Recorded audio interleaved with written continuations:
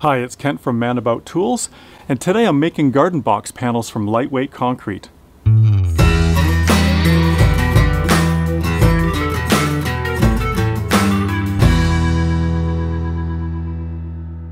This is part three of my series on casting your own reinforced concrete garden box panels.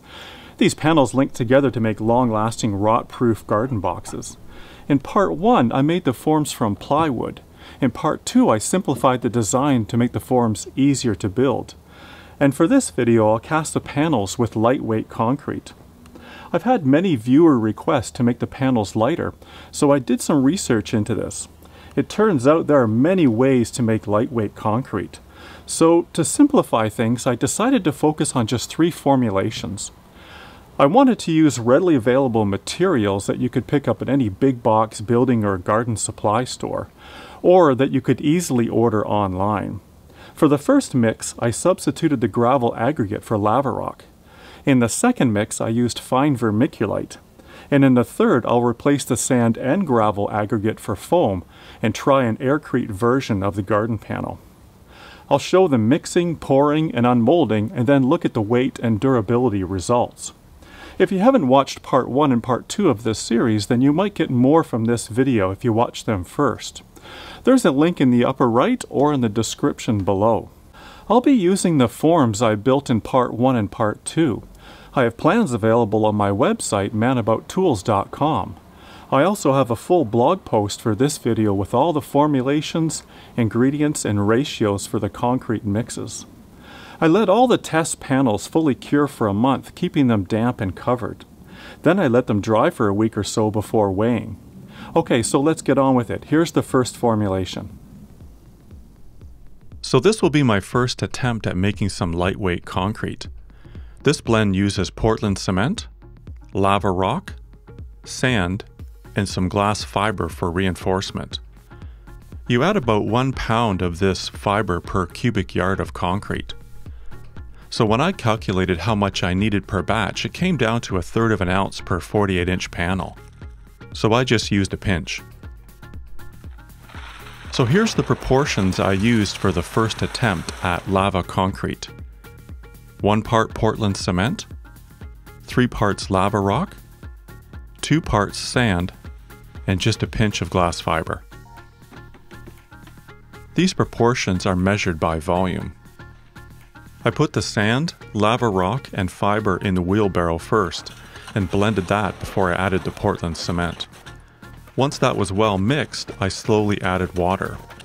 I realized as I was doing this that it wasn't looking as smooth as I had wanted, and it looked quite lumpy. I thought, well, I'll go ahead with it and put it in the form. I used a reciprocating saw without the blade to vibrate the form and settle the concrete mix. Then I laid in a piece of reinforcing wire mesh. This galvanized wire mesh is cut from a large hog panel fence I bought from my local farm supply store. Then I topped up the rest of this and vibrated it some more. I tried to smooth it out with a trowel and it wasn't coming out very well. But in the bottom of the wheelbarrow, I had lots of sand mixture left over, so I just did the best I could with that.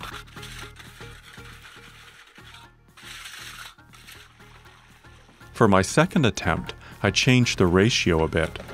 I went with one part Portland cement, two parts lava rock, and three parts sand, and again a pinch of glass fiber. I figured that I needed to add more sand to get a smoother mix. So I started the same, mixed it all up in the wheelbarrow, and it came out a bit wetter than I liked. So I added a bit more sand to absorb some of that water. I could tell right away that this consistency was closer to regular concrete.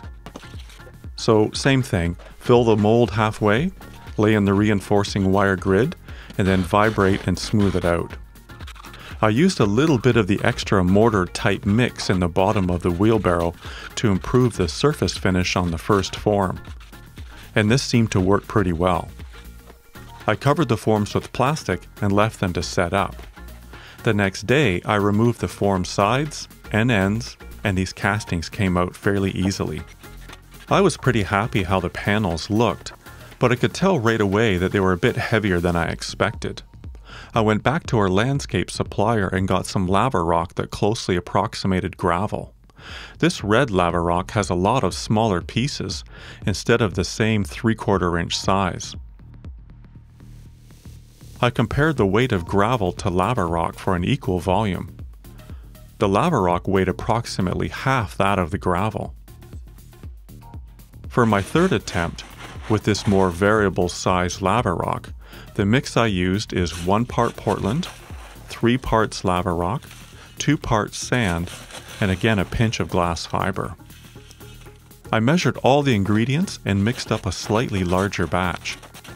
Again starting with lava rock, the sand with fiber, and then adding the Portland cement and then the water.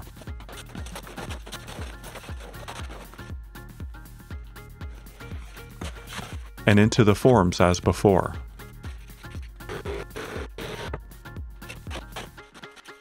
It settled nicely with vibration and all looked good.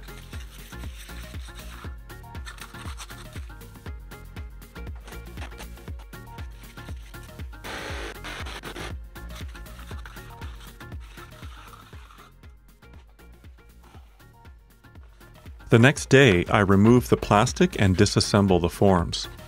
These panels came out of the forms quite nicely, and this was my final version of the lava rock mixture.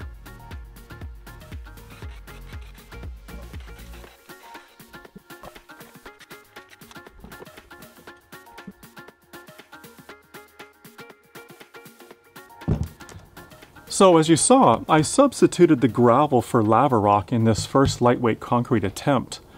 The lavacrete, if you will, worked very well once I used a variety of rock sizes that approximated gravel in my mix.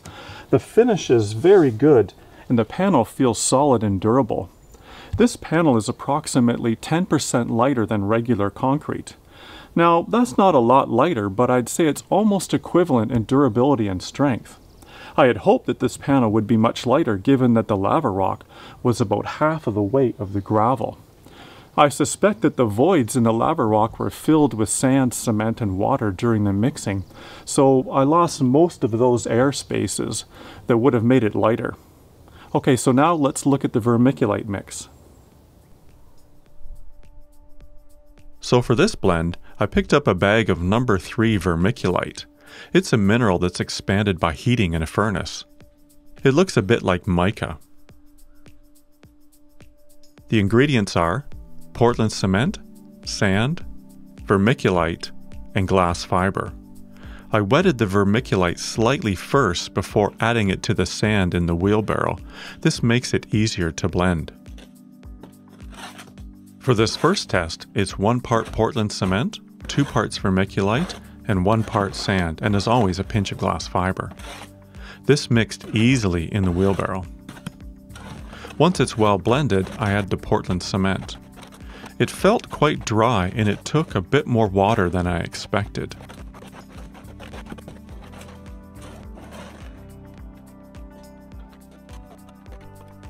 And like before, I fill the form halfway, settle it a bit with the reciprocating saw, add the mesh, and then top it up and repeat on the other form. And smooth the bubbles with a trowel.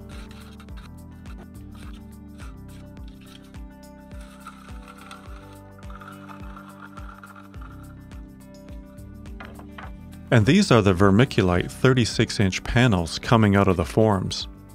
Removing the sides and ends and then just gently prying the panel free with a paint scraper.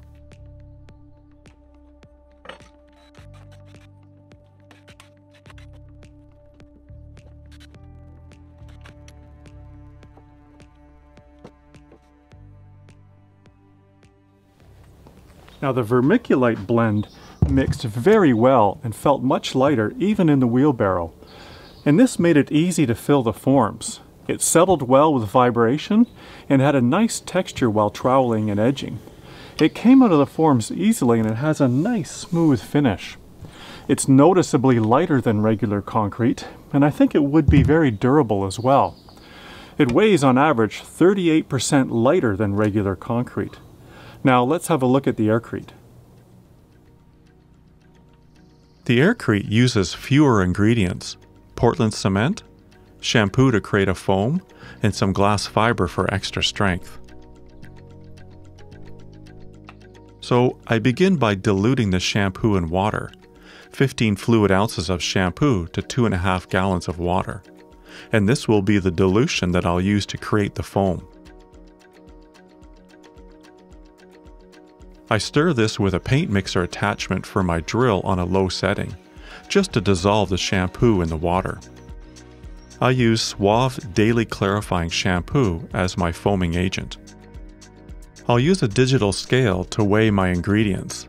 I use 9.4 pounds of Portland cement, 5 pounds of water, 1.5 pounds of the shampoo dilution, and a pinch of fiber. I'm weighing the cement, and to that I'll add a little handful of the fiber. I then weigh the water.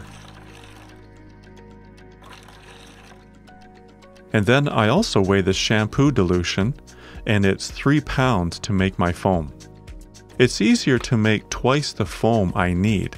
I find it just mixes better. I experimented with some different shape mixers to make my foam. With wire, I sewed some window screen onto this thin set or grout mixer. When I tried to make the foam, it spun the entire mixture a bit too much. So this one was a little too aggressive. The next time, I sewed the screen to a smaller egg beater type mixer.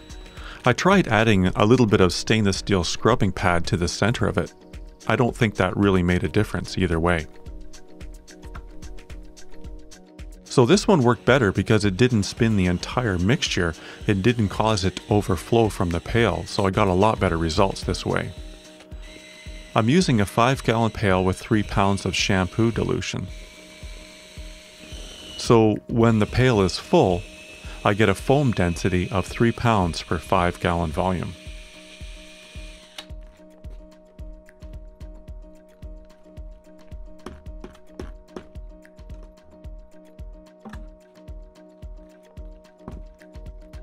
Now with a paint mixer, I'll add my Portland cement and fiber to the water, a bit at a time.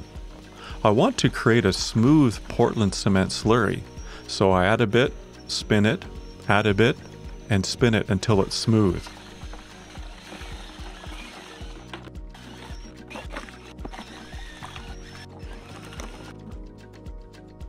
I also stirred the mix by hand to make sure that there was no dried cement stuck to the edge or clumps in the bottom of the pail.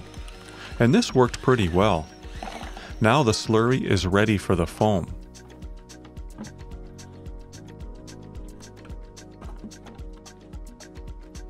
I add half the pail of foam to the cement slurry.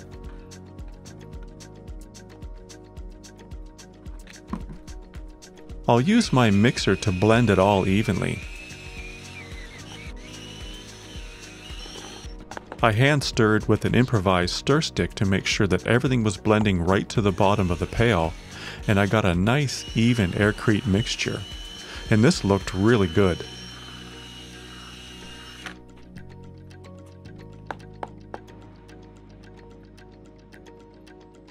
Then I added the aircrete to the form, giving it a bit of a jiggle to help settle it into the corners. And then I added a bit more to top it up. I tried to get as close as I could to being full without overfilling too much. A little bit over is okay because the mix is going to settle and some of the bubbles are going to collapse. Then I can smooth it with a trowel. And then lay in the pipe wrap wires. And once it sets up a bit, I gently lay in a galvanized wire reinforcing grid so it settles in right in the center. And I made a couple more batches and filled a few more forms. I was happy with how this was blending and how the grid was sitting in well. I needed to push it into place. So the aircrete had enough density that I felt comfortable that the wire mesh was not going to sink all the way to the bottom of the form. It was a hot day, so I think that also helped the aircrete to set up faster. And I think that's quite desirable because then there's not as much time for the foam bubbles to pop. When the aircrete was fully set up, I covered the forms with plastic and left them for a couple of days.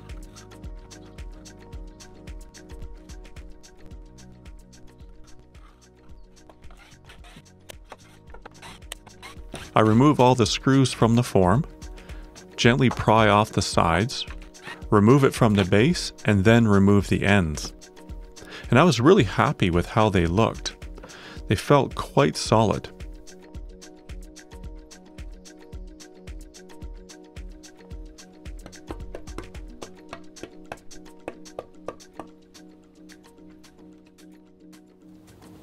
Now, this panel was the most fun to make and certainly the most unique of the options I tried. I'd like to thank the Honey Do Carpenter and Aircrete Harry for their many great videos on everything to do with Aircrete. I'll put a link to their channels in the description as well. I was able to get a very dense foam without using a foam generator. For my testing this worked well, but if I was going to get into making a lot of aircrete, I'd build or buy a foam generator like the ones that Harry or Darwin use. I followed Aircrete Harry's formulation for what he referred to as a standard mix. My aircrete held its shape and there was little if any bubble collapse as it was setting up. The aircrete panels came out of the forms well, the surface finish looks pretty good and the bubbles looked uniform. The panels were very light, on average 80% lighter than regular concrete, so wow, that's pretty impressive. But even after curing though, I found the panels were not very durable. There's no sand or gravel to add that impact or abrasion resistance. I did a little test with all the panels by running a weed eater or line trimmer against them. Not a scientific test by any means, but something the panels may have to endure.